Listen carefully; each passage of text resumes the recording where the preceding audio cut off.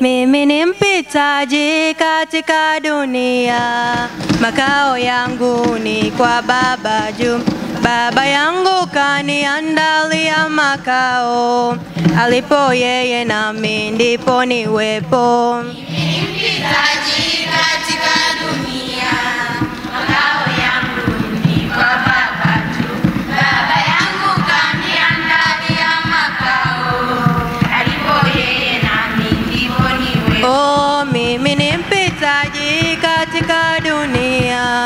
makao yangu ni kwa Baba juu.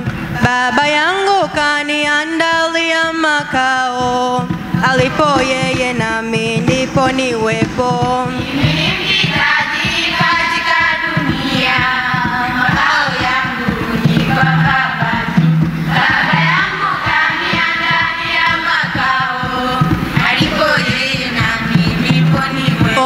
kwa hivyo mimi naishi najua, niko hapa kwa muda, makao yangu ni kwa baba juu.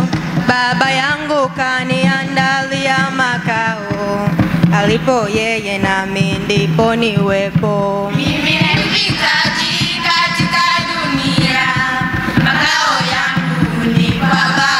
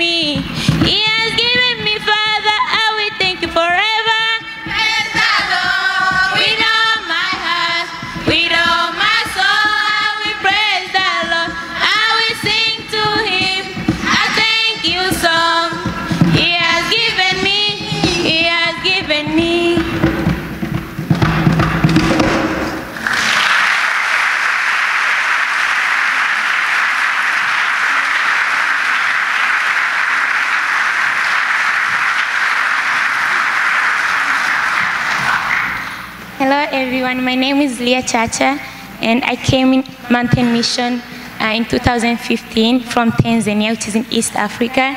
And um, I'm really thankful to be here because it's God's way for me to be here, and I'm happy to see all of you. And I thank you all for welcoming us here. Um, God has saved my life, and I really never thought I would be here right now because it's His will, and I'm thankful for Him saving my life. And I think some of you know Mountain Mission School, and I'm glad that you guys help us and help the kids there, and to, for us to make our dreams come true. And I'm just thankful for God's um, mercy and love, and God bless you all.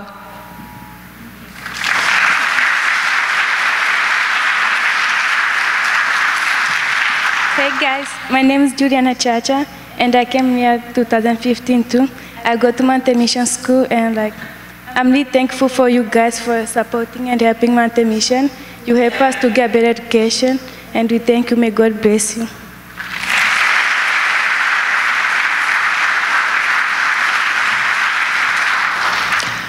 Um, God is good.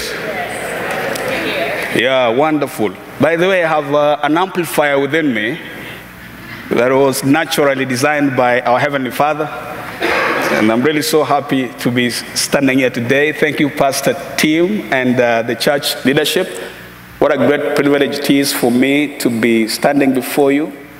Uh, thank you for this wonderful opportunity that you have accorded us as a City of Hope to come here and be able to share our stories. Uh, because the world is about stories anyway. It's about stories. And, uh, and there are many stories in this world. There are good stories and there are bad stories. There are no in betweens. We have chosen to share the good news. The good news. What is the good news? Good news is when you see people who are hopeless receiving hope. What is good news? Good news is when you see people who are helpless receiving help. What is good news is good news is when you see people who are who are wallowing in sin, embracing the Lord Jesus Christ and marching on towards eternal life because they have received their creator. That is good news. Good news to, is to see people restored. And this is our story. And we are so grateful that you, as a church, has given us this opportunity to be able to share that. I am so grateful to God. My name is Hudson. I'm married to one wife and three children, and uh, they are born again, all of them. And I really thank God for that. Um, and uh, I want to appreciate this place, man. The, the worship was fantastic. I don't know how you do this guitar thing, man. This is great. and the keyboarding and the sound, I was feeling like I, I, was in heaven. Thank you so much for that wonderful worship. Shall we appreciate the, the ministers of music here? That was incredible. Thank you, thank you, thank you, thank you very much. Thank you. How much time do I have left? Good.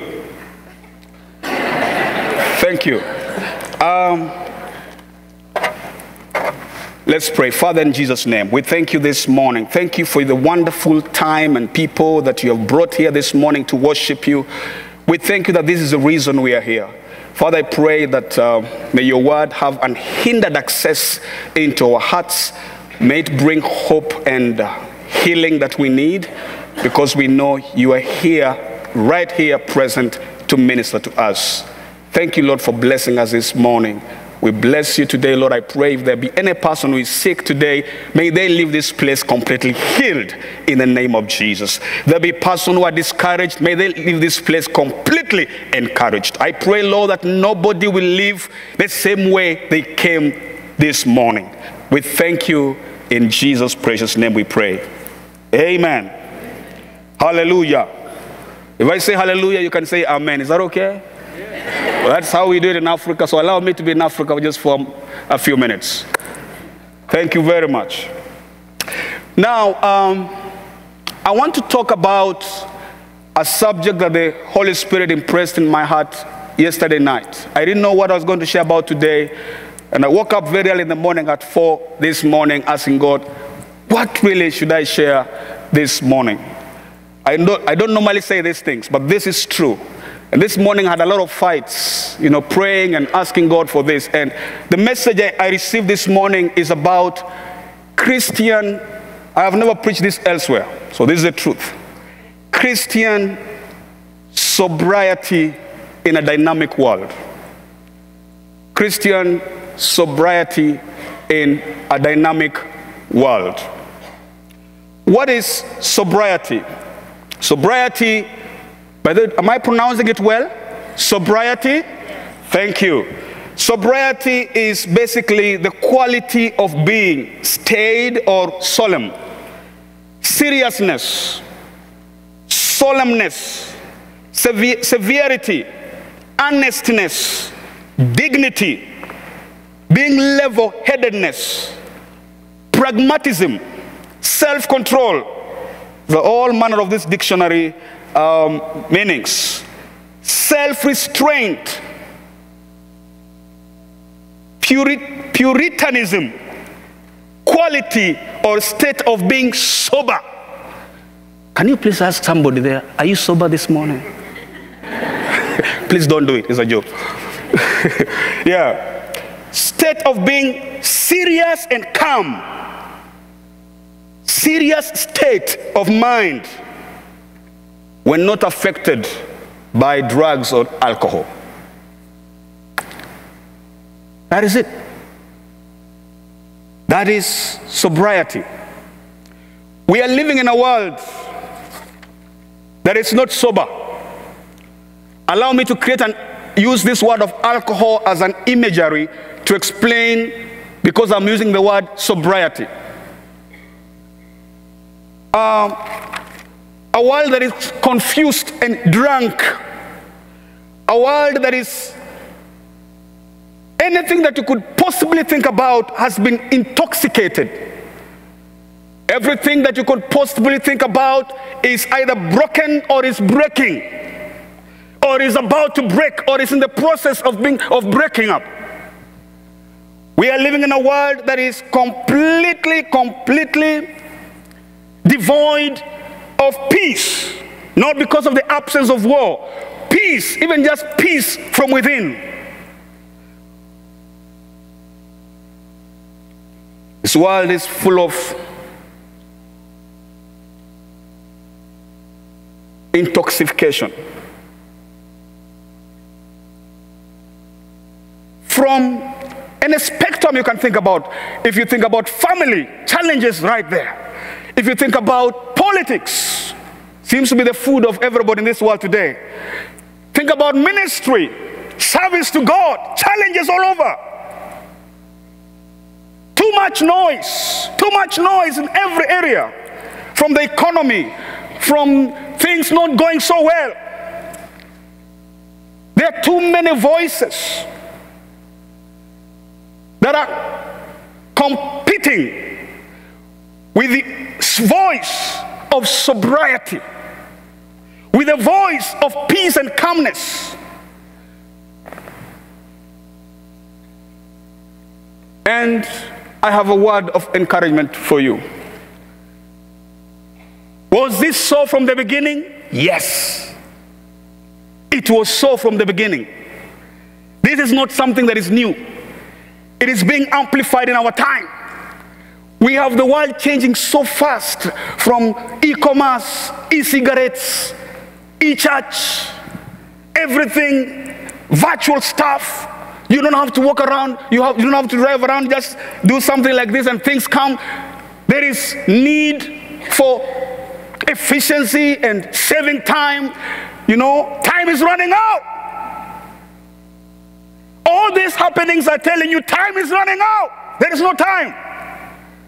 There is no time. If you ask somebody today, are you able to come here and do, no, no, no, I don't have time, I'm too busy. What happened to time?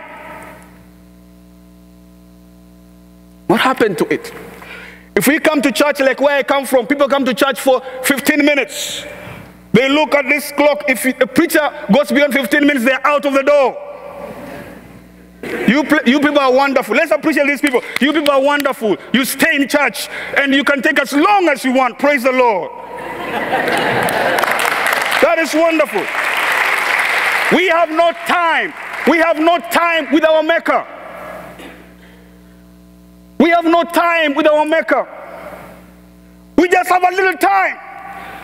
When you're seeking God and listening to Him, and, and even that's in church, and the Lord is just about to speak to you, boom, you are off again from that position where the Lord wanted to speak to you. You are off, you're not listening. Too much activity with little, with little, very little progression. How possibly could one be sober as a Christian in a world that is so dynamic like this? When sin is being multiplied, when things that were taboos before have been normalized today, and a few Christians or Christians who are remaining sober, a few Christians who are sober today are being scared. They are living in fear.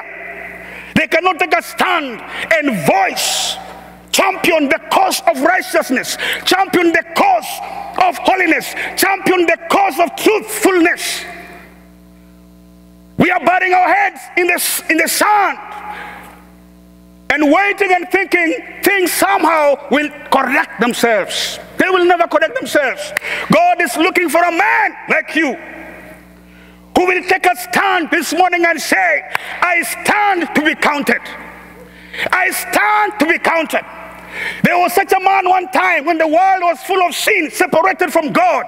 And that man said, We, God the Father, we cannot sit here and let our brothers, our children die. He said, I'm ready to go and die for these people. And he gave up himself and he hung, he was hung on the cross. He died. And today he lives. Today we live because he lives.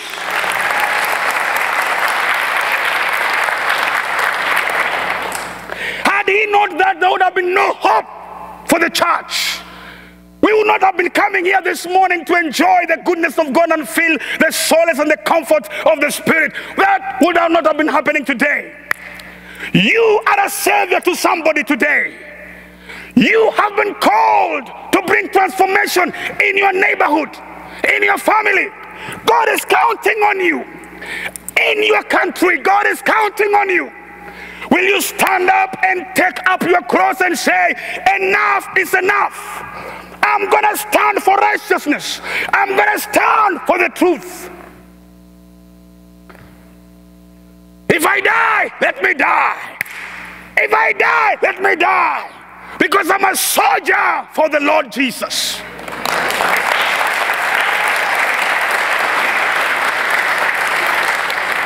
There is a time to cock our guns.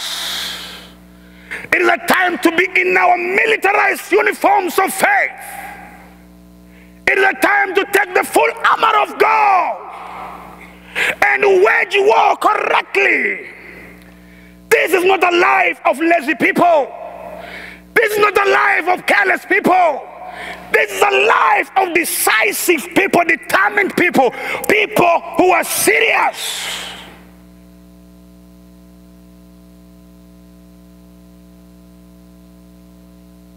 And it is not just happening in the world, it's happening in the church. I will read the Bible so I can become authentic.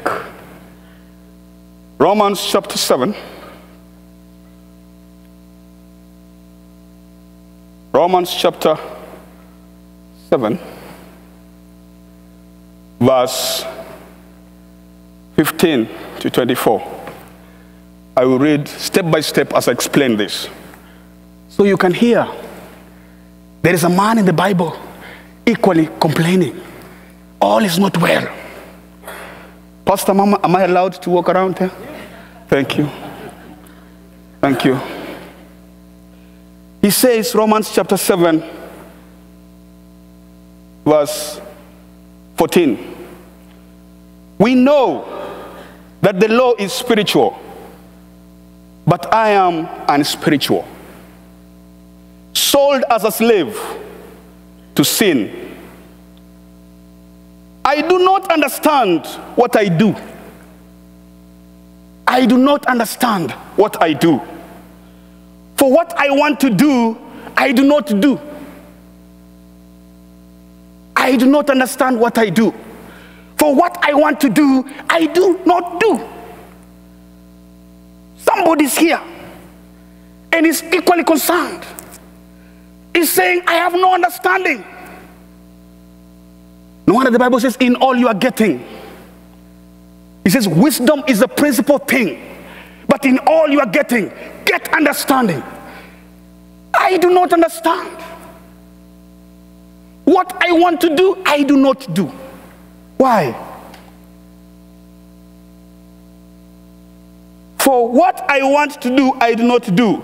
But what I hate, I do. What I hate, I do.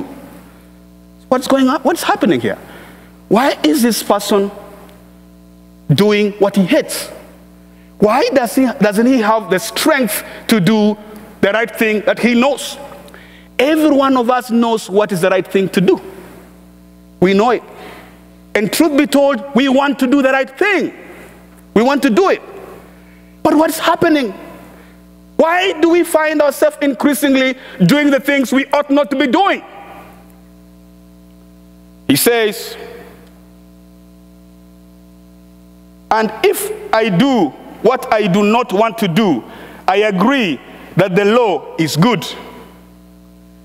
Verse 17, as it is, it is no longer I myself who do it, but it is sin living in me. Sin living in me. I know that nothing good lives in me. I know that nothing good lives in me. This is a Christian who has become complacent, a Christian who has been swallowed up by the happenings in the world, a Christian who has allowed the natural forces, the natural laws of, of this world to load their weight on him. And is wondering, I know the right thing to do, but I don't do it. I know the right way to follow, but I cannot see it. That time when I want to walk on that path, I cannot see it. He says,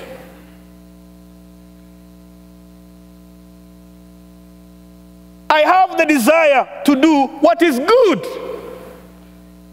I have the desire to do what is good, but I cannot carry it out. This is what is happening. We have desires as the church of Jesus Christ. We have desires to do what is good. We have desires to do what is right. Right from Sunday school, we have had every good thing that we know we ought to do. But as we continue in growing up, we find ourselves messing up all the time, or most of the time.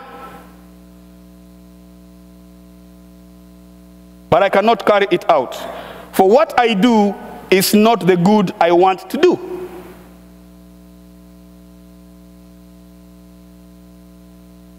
No, the evil I do not want to do, this I keep on doing. How come he's got strength to do something anyway? Why can't he just be in a neutral place and say, uh, I cannot do evil, I can neither do evil nor right? Why is this person having strength and capacity to actually do bad things? Is the natural force, the natural laws of sin so stronger than the law of our Father? Absolutely not. Something is wrong.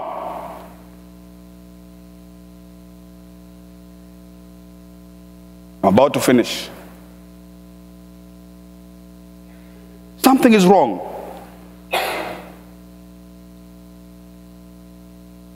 I do not want to do this. I keep on doing. Now, verse 20.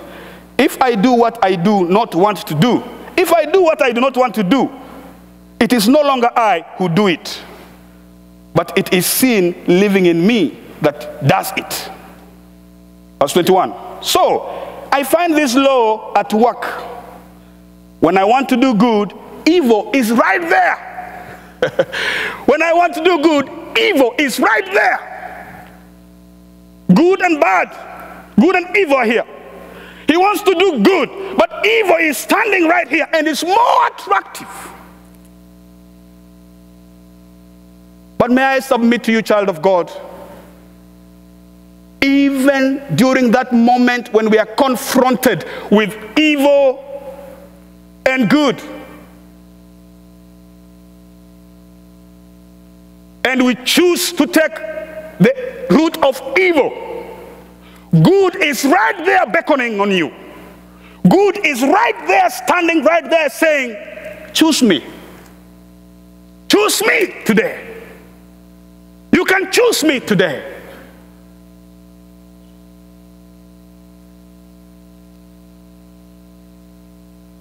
So, for in my inner being, I delight in God's law. No, I said, verse 21. So I find this law at work when I want to do good. Evil is right there with me. For in my inner being, I delight in God's law. But I see another law at work in the members of my body, waging war against the law of my mind, and making me a prisoner of the law of sin. At work within my members. And this man is there crying. And if you read further, he says, Oh, just listen. This guy says, With, within my inner being, I delight in the law of God. But I do not find strength to do what is good. I do not find strength to obey the word of God, even though I delight in that law. And then he says, There is another force that is waging, waging war against him.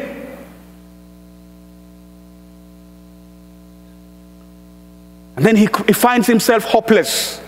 And in verse 23, 24, he says, Oh, what a wretched man I am. Who will rescue me from this body of death? Who will rescue me from this body of death? Who will do that? And friends, if you open up your eyes again, just in your inner eyes and reflect on what's happening in the world today, you realize that that seems to be the cry of humanity today. Who will rescue me? Oh, what a wrecked man that I am. Who will deliver me? Who will deliver me?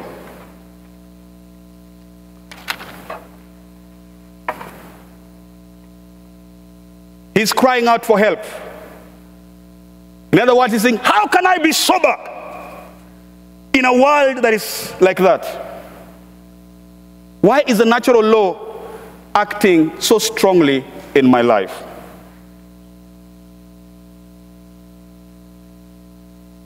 Why?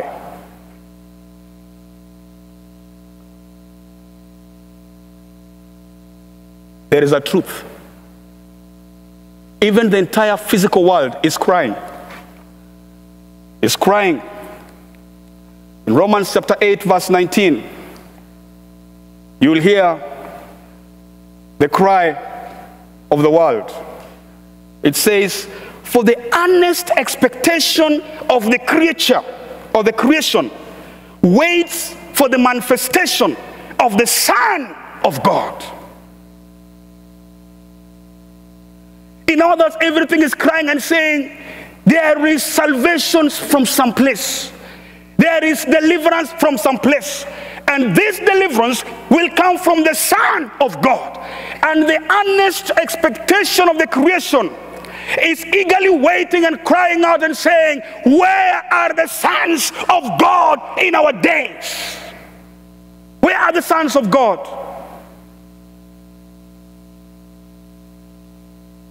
Where are the sons of God? Who are they? How do they look like? Hosea chapter 1, verse 10 says, In the place where it said, in the place where it was said to them, You are not my people, it will be said to them, You are the sons of the living God. In Matthew chapter 5, verse 9, the Bible says, Blessed are the peacemakers, for they will be called the sons of God. John chapter 1, verse 12, the Bible says, Behold, what manner of love the Father has given unto us, that we should be called the sons of God. So when the creation is crying, asking for where the sons of God are, we are right here. We are right here. The big question is are we manifesting? He says, We are waiting for the manifestation of the sons of God. Are we manifesting? If we do, what is it that we are manifesting? How come we are not infil- in- infiltrating the world and being the salt, the real salt that we ought to be? How come darkness seems to be, gross darkness seems to be covering the world so quickly when the light, the honors of light, not even honors of light, the light themselves are all over here? What is happening? He said, You are the light of the world. Now let your light so shine that people may see your good works and praise the Lord. Everybody is waiting. Every creation is waiting. Waiting for the manifestation of the sons of God.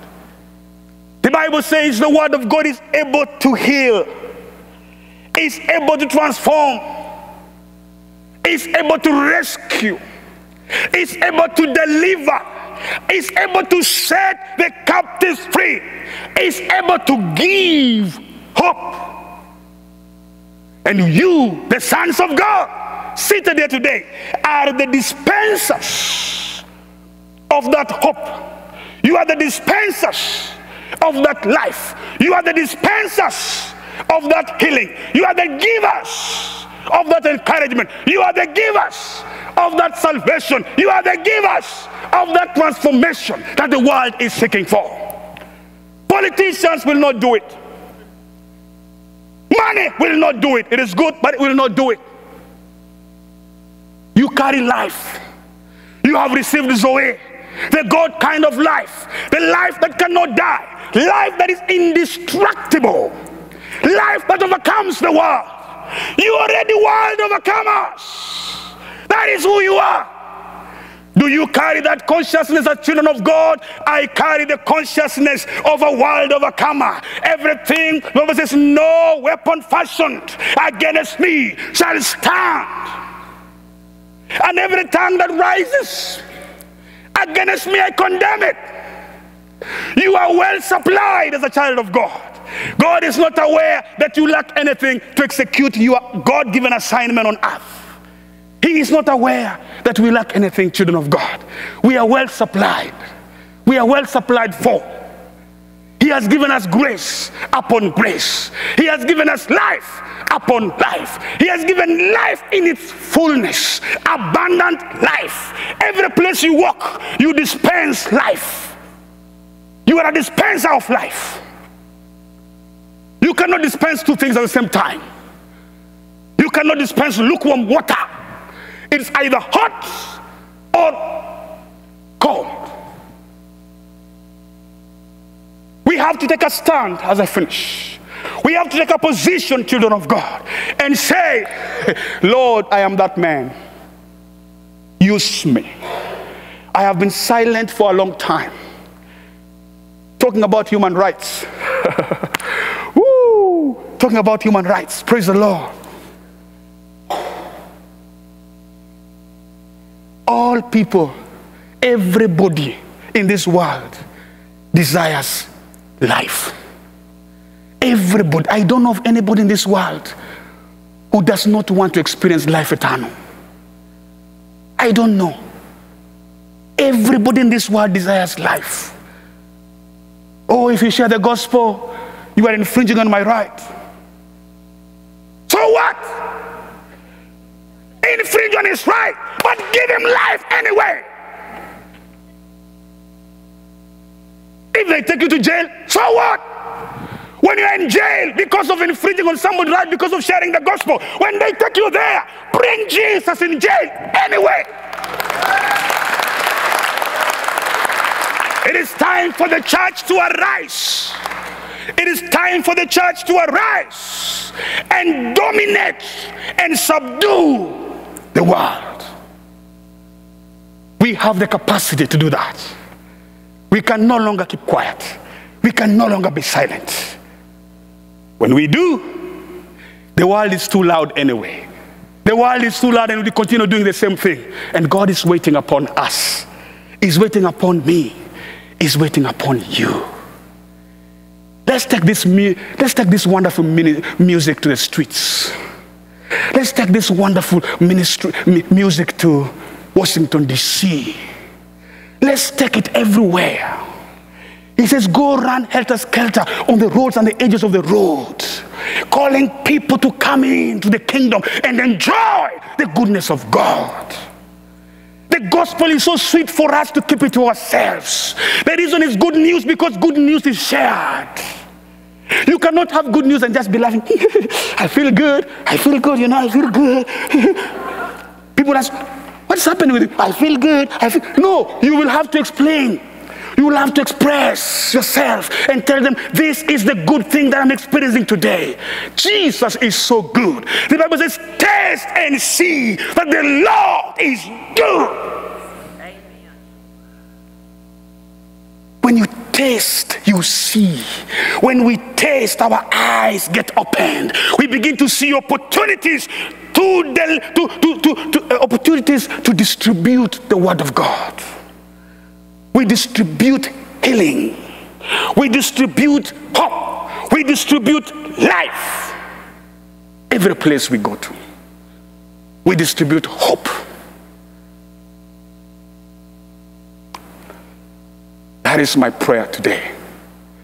That America will rise up and do the thing you know best how to do. You know best how to do. To conquer the world.